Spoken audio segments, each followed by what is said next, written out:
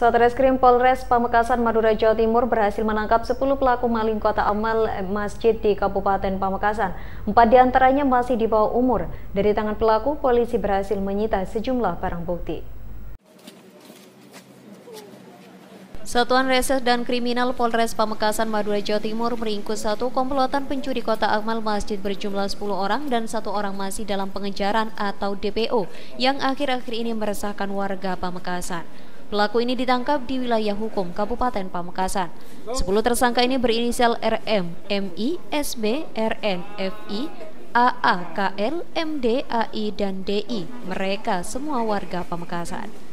Dari 10 pelaku pencurian kota amal di 20 masjid di Kabupaten Pamekasan ini, empat di antaranya dinyatakan positif menggunakan narkoba dan terdapat empat orang yang masih di bawah umur.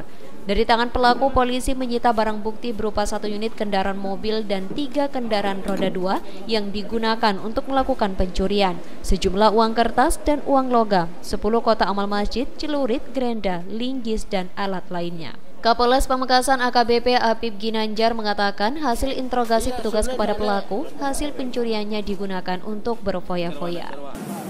Ada 11 LP yang sudah kita kumpulir dan ini mungkin bisa ditambah lagi. Ya, dari 20 TKP masjid yang berada di wilayah Pamekasan.